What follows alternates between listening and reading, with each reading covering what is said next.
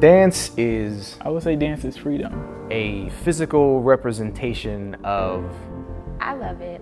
the things that make up who you are. It is one of the highest expressions of my soul. So if I'm feeling great, if I'm feeling sad, it's a chance for me to just let loose and, and just let it go. it's one of the greatest expressions of my soul, and that's why when I perform, I love it so much. Dance is Dance to me really is what quiets my storm. it's an outlet for real. Dance means a lot to me. Dance is life, dance is therapy. I'm, I'm free.